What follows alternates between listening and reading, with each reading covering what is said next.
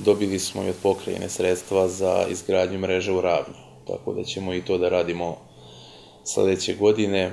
U planu su nam još rekonstrukcija Mačvanske Mitrovice, zatim u Laćarku će biti isto nekih radova na kanalizacijonoj vodovodnoj mreži. Uglavnom, za sad je to ono što je sigurno.